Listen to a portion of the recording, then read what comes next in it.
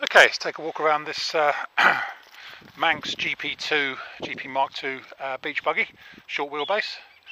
Uh, finished in red and black, um, based on a 1972 Beetle, so uh, it is um, tax free uh, for road tax purposes. Um, really rather lovely actually, built by uh, um, an engineer in the in the army, in the REME. Who's spent over £11,000 building it to its current standard, and it's really, really good actually. Really good and really nice. Um, really nice tub on it. Basically, walking around it, we'll just sort of pick up what it's got. Um, a pair of Cobra Monaco bucket seats in it, four point harnesses. It's got quick shift um, gear lever on it. Uh, it has some extra dials rev counter, uh, voltmeter and um, oil temperature gauge. They haven't been fully wired up, so they're not working at the minute. However, you know, if you wanted us to get them sorted, it wouldn't be too difficult. Uh, but you've got the standard Beetle um, speedo and fuel gauge and stuff there. Obviously, being air cooled, it doesn't have a temperature gauge. Um,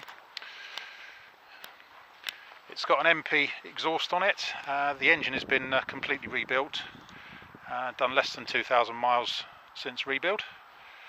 Uh, it's been bored out. It's done by uh, the engine shop. They're quite a well-known VW uh, um, uh, VW sort of performance parts people.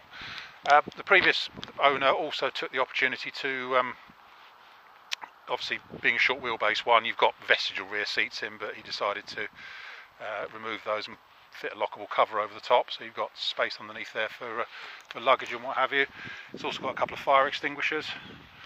Um, yeah, cracking machine. And uh, talking of cracking, walking around the um, walking around the tub, there's no gel cracking at all that I can see on the tub at all.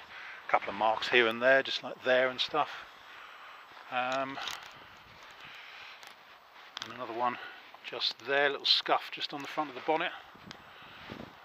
Bonnet. Uh, and there's another scuff just up here in the paint on the uh, on the near side rear wing. Uh, some marks around the lights. Obviously tried to seal the light and um, not particularly uh, well sealed, should we say, around the near side rear light. But that's about it. She's enormous fun. Um,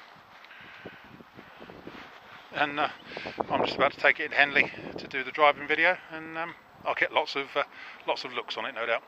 Anyway, that's about it. My name's Simon. You can reach me in the office on 0118 907 1495 or you can go to our website which is www.motodrome.co.uk for any further info. We take part exchanges, we take Visa and MasterCard credit cards and debit cards with a 2% surcharge for credit cards and we can have it shipped or delivered anywhere you like in the world, obviously at cost.